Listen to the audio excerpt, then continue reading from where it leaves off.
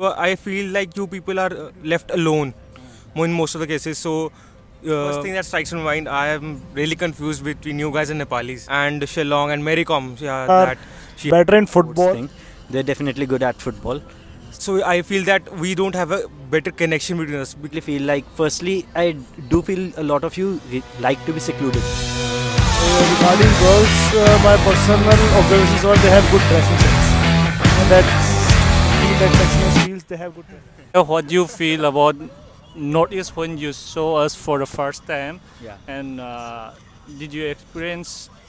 Did you met someone of uh, us before? Like something. Tell me Okay, something yeah. about anything. So, related to I definitely have a few friends who are from northeastern India. Yeah. So my first view of a person who I see from nor- northern northeastern Oh, India. Before, be- before uh, let me just Yeah. just do. A Yeah, so uh, myself, I am. Uh, my name is Navneet.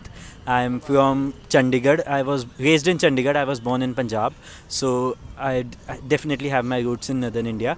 And uh, as for your question, whenever I see a person from the Seven Sisters, I definitely feel like. Firstly, I do feel a lot of you like to be secluded. You like to be on your own. So that's my first imp- first general impression of the people. And uh, as for you, it was prob- probably the same. you do like your space and like to be with yourself. Uh, you're funny when you want to be. Um, that's basically about you. And what else? Let's see. and about our cultures or anything sports and like. Yeah, he mentioned sports, so uh, I would definitely agree with the sports thing. They're definitely good at football, so there's that. Rest you mentioned Mary Kom, so that also comes to mind. Other than that, I do have a friend. Uh, so the friend I was mentioning earlier, he is really into motor motorbiking, and you know he does stunts and all. So he does give, and he, his whole family, I mean his brothers and his brothers' friends as well. So they're also from north eastern India, so they do the same.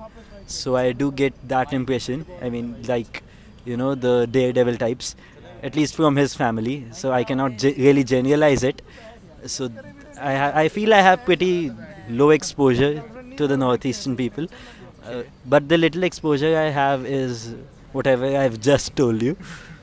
Uh, did you ever visited any northeastern states? To be honest, no. I. Yeah, I don't think I've ever visited there. But would you like to visit? Oh, definitely. The natural beauty of those states definitely is and, a uh, which draw. state would you want to visit?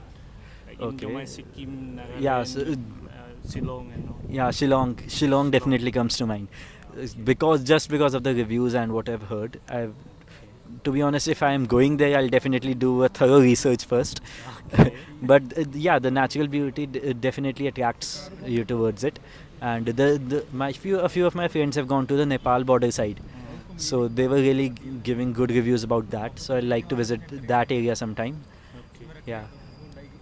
Oh yeah, there's also one general notion around here that uh, the momos people.